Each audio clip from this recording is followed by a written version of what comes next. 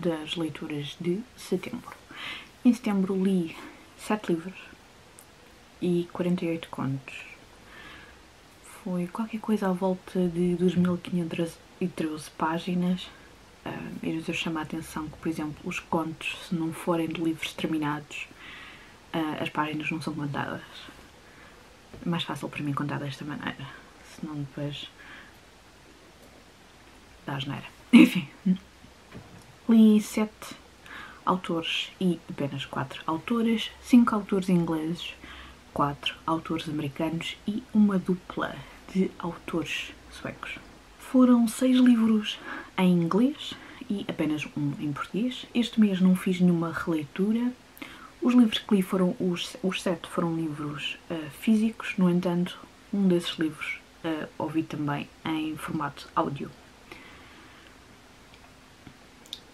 Três dos livros vieram para as minhas estantes em 2016, um deles uh, de 2017 e três de 2018, que é ótimo. Significa que estou a receber os livros, ou a comprar os livros e a lê-los. Apenas li dois livros da minha TBR, ou, ou daqueles que terminei, apenas dois eram da minha TBR. Hum, qualquer coisa não está a correr muito bem aqui neste caso. Li dois clássicos, dois policiais barra thrillers que foram para o September Thrills, um livro de não ficção, um livro de contos e um livro de fantasia. Em termos de datas, o livro mais antigo que li era, aliás, a primeira vez que foi publicado foi em 1859, depois o, o a seguir 1908, depois há um grande salto para 1984, 1989, 2010, 2015 e por último, o livro mais recente é deste ano, 2018. Este mês dei 4 estrelas a 3 livros e uh, 4 estrelas e meia a 4 livros. Portanto, foi um mês ótimo. Não dei 5 estrelas, mas as leituras foram todas muito boas.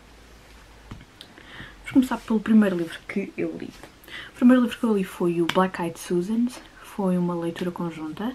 Eu vou deixar alguns o link para a opinião, porque eu já fiz opinião sobre este livro. Depois, terminei de ler Um Quarto com Vista, do A.M. Forster. Uh, eu não vou fazer opinião sobre este livro, eu já falei muito brevemente no diário de leituras, que eu vou ver qual é que foi, depois deixo o link em frente ao nome do livro na descrição.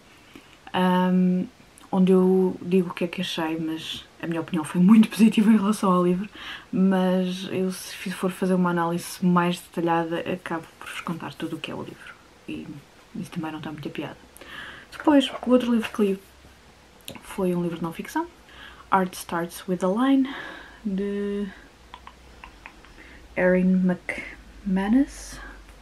Uh, é um livro que ensina, não é bem que ensina a desenhar, mas tem aquelas coisas passo a passo. E eu gosto bastante da, da arte, da autora do, do, do livro, um, porque é uma pessoa que eu já sigo já há alguns anos e quis uh, comprar e ler o livro. Depois terminei um calhamaço que já estava a ler já há não sei quanto tempo. Foi o The Woman in White, do Wilkie Collins. Ainda não fiz opinião. Um, mas devo, devo ir fazer. Este é um clássico, uh, talvez um dos primórdios do. Não é bem policial, mas é um livro de mistério. É um bom livro de mistério. Uh, é muito lento. Uh, tem alguns lives que até se, que são muitas, ou algumas reviravoltas que são muito usadas hoje em dia no, no, nos thrillers. Uh, a diferença é que este livro tem. Já nem sei quantas páginas é que isto tem, mas são muitas. Muitas. Pronto, a diferença é que este livro tem quase 800 páginas uh, e eu estou a falar daqueles thrillers, thrillers muito comerciais de uh, 200 a 300 páginas. Se calhar este livro, esta história podia ser contada em menos páginas. Poder até podia. Mas eu, eu gostei da maneira como ele estava escrito, como estava desenvolvido. Depois, outro, um dos thrillers que eu li foi aqui o The Nightmare, da dupla Lars Kepler. Este livro é o segundo livro desta série, do qual eu não me recordo o nome. Um, eu gostei bastante deste livro. Percebo porque é que houve pessoas que não, não têm gostado, porque o ritmo é diferente do, do livro anterior, que agora me estou a lembrar do nome, uh, O Hipnotista. Este, em português, o nome que ficou é O Executor. Hum, eu não, não sou muito a favor do nome, um, mas pronto, eu também não conheço a versão original, estou só a ver a, a, versão traduzida em inglês. Um, acho que faz mais sentido The Nightmare uh, pelo desenvolvimento. Eu percebo porque é que, eu estava a dizer, porque percebo porque é que algumas pessoas não gostaram, porque o livro acaba por ter um, algumas cenas que parecem quase num filme de ação, que eu por acaso até gosto. Um, tem coisas que parecem saídas de filmes de espionagem. Um, mete negócios de armas e, e, isso acaba por. Se vocês vão à procura de um thriller ou vão à procura de um, uma coisa mais policial em que alguém morre e depois resolve, se resolve ou descobre porque é que alguém anda a matar alguém, uh, este livro acaba por fugir um bocadinho. E. Enfim. Eu acabei por gostar porque eu até gosto desses géneros, mas confesso que houve ali uma altura em que eu fiquei, mas espera, então isto não era, um, isto não era suposto ser um policial? Apenas? E só um policial? Hum, afinal não é. Ok. Ok. Ok. Agora estou interessada em ver como é que. Um, como é que isto se desenvolve. Se o livro se arrasta um bocadinho, arrasta. Se calhar podia ter menos páginas. Mas. Mas pronto, tirando isso, eu até gostei do, até gostei do livro. Depois, o outro livro que eu li foi o Guards Guards do Terry Pratchett. Estes, os livros do Terry Pratchett, para mim, são absolutamente uh, fenomenais. Uh, é um livro que mistura fantasia e comédia, mas comédia negra. Muito boa. Uh, neste caso, este é o primeiro livro de uma série dentro da série de que ele faz parte, portanto, este livro faz parte da série Discworld e uh, é o primeiro livro da série dos. Agora não me recordo. Hum. Basicamente é uma série sobre o, os guardas, ou sobre. como é que eles lhe chamam aqui? Sim, vamos, vamos chamar-lhes guardas. Os guardas da cidade principal de, do Discworld, que é Ankh Morpork, ou Morpork, eu acho que é assim que se diz. Um, e é uma. Esta guarda da cidade é, está em decadência, existem só três ou quatro. Uh, os guardas não, são, não, não primam pela sua inteligência. Isto é uma cidade que que, que está cheia de vícios e quem uh, manda na cidade, quem que, do género como se fosse um presidente da Câmara, mais ou menos, um, ele mudou bastante a cidade, fez com que a cidade uh, se tornasse, uh, tivesse guildas de tudo e mais alguma coisa. Portanto, existe a guilda dos assassinos, existe a guilda do. Uh, como é que é? Dos ladrões para vos dar o exemplo. Um, e uh, o que é engraçado é que depois que ele começou a criar cotas e, e regras, portanto, a, a, cidade acaba por se autogerir. Um, portanto, quase não, praticamente não precisa de guardas. Só que algo de estranho acontece. Porque há sempre alguém a tentar conspirar contra uh, o poder e então uh, há uma seita que vai uh, vai conjurar através de magia uh, um dragão e o dragão começa a atacar a cidade. E depois isto dá aqui uns altos e baixos absolutamente fantásticos. Absolutamente fantásticos. Um, se gostam de humor e estão à vontade em ler inglês, é imperdível. Imperdível mesmo. E se gostam de dragões também. Apesar dos dragões aqui serem uns dragões diferentes dos dragões tradicionais de, de, de fantasia. Depois, outro livro que li foi, já, já foi mesmo no final do mês de setembro, em que já estava a pensar em outubro e nas leituras uh, todas que eu quero fazer em outubro. uh, mas que ainda não fiz, obviamente, nem, estamos nos primeiros dias. Uh, e então este foi assim uma espécie de, um cheirinho. Este livro é o More Scary Stories to Tell in the Dark, que é o segundo livro de três. E isto são contos ou histórias que o autor ouviu ou leu noutros sítios e recontas aqui.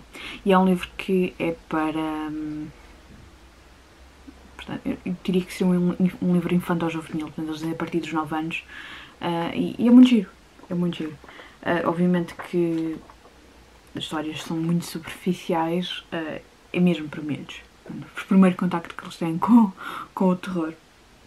E eu, eu vou querer arranjar outros livros. Este livro foi-me oferecido pela, pela Cristina, acho que no ano passado, uh, do Books and Beers. E, eu estive a guardá-lo para, para, para ler em outubro e, e acabei por ler em setembro. Não faz mal. Um, mas vou, vou. E não tinha comprado os outros dois livros exatamente porque. que é o primeiro e o terceiro, este é o do meio. Um, porque estava naquela, ok, não sei se vou gostar, é melhor ler. Mas eu, caso, eu já achava que ia gostar. Uh, agora, o meu problema vai ser arranjar livros que façam pandan. Mas pronto, isso, é, isso, isso já é outra história. Depois, vou só mostrar-vos os, os livros que não terminei um, e os livros dos quais li alguns contos. Portanto, eu li o More Scary Stories to Tell in the Dark, li, este foi completo. Depois li alguns contos do, deste livro de contos do Neil Gaiman, o Trigger Warnings, uh, Short fiction, Fictions and Disturbance, li alguns contos. Mas mesmo assim, como podem ver, ainda falta muito para acabar o livro.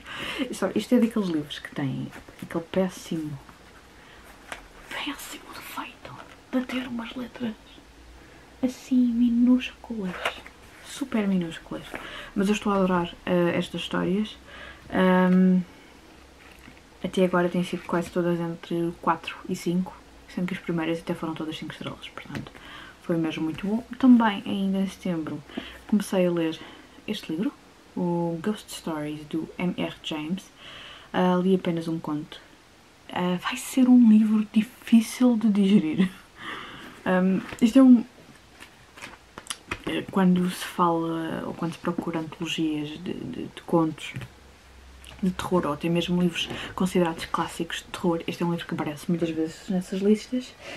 Um, supostamente o senhor inovou na escrita de contos de fantasmas uh, e não sei. Uh, o primeiro não é que seja. Eu não me recordo quanto é, qual foi a pontuação que eu ao, ao, ao, conto, ou se é que dei pontuação ao conto, porque às vezes não dou. Uh, dei, pois. Dei apenas 3 estrelas. Não foi nada de especial e foi um bocadinho. Como é que vai dizer? Foi à época. Este livro é do final do século XIX, início do século XX. E, uh, este autor era muito erudito, portanto, a escrita dele pode ser assim um bocadinho aborrecida, às vezes, uh, somente pelos detalhes que ele, que ele uh, escreve. Uh, Faz-me lembrar alguns contos que eu li o ano passado, por esta altura, num, num, dos livros que eu tenho de, de contos vitorianos. mas eu estou interessada em continuar, mas é daqueles livros que não tenho pressa nenhuma para terminar. O que é que. Ah, e mesmo no último dia. Não vos posso mostrar o livro que ele faz parte da pilha que está a fazer de. de... Portanto, o livro é o The Corn Maiden and Other Nightmares, da Joyce Carol Oates. E eu li dois uh, contos deste livro. O mês passado tinha lido o The Corn Maiden, que é o primeiro conto e o maior, uh, e agora li mais dois, e muito bons, muito bons. Eu dei um 4 estrelas e o outro 4 estrelas e meia. E uh, qualquer um deles podia, podia ser uh, contado e ser relevante para o September Thrills. Portanto, este livro é, é muito interessante nesse sentido. Uh, depois, livros que eu não terminei. Obviamente não terminei o The Cord Maiden, porque ainda tenho contos para ler. Não, não terminei aqui o Ghost Story, li só um conto. Um, não terminei A Serpente do Essex, mas isso não é novidade. Entretanto, eu já comecei a ouvir o audiobook, portanto já avancei uh, quase a mesma quantidade de páginas que já tinha lido anteriormente, já há não sei quanto tempo. E o outro livro que infelizmente ficou pelo caminho foi uh, o My Sister, My Love, The Intimate Story of Skylar Rampike, também da Joyce Carol Oates. Um, eu, o ano passado, acho que também pela altura do September Thrills, eu li 100 páginas deste livro. Neste September Thrills li mais 100 páginas, é, mas não, não vou esperar pelo próximo September Thrills para ler mais 100 páginas do livro. Até ao final do, do ano uh, vou ler o livro, mas eu não consigo ler este livro há uh, muito tempo. Não sei, eu acho que é uma combinação de letras, uh, letra pequena, e um ambiente um pouco pesado com o objetivo de ser pesado, eu acho que ela é mesmo para ser assim. E, e pronto, por isso mesmo é, ficou pelo caminho, mas não estou nada preocupada com isso.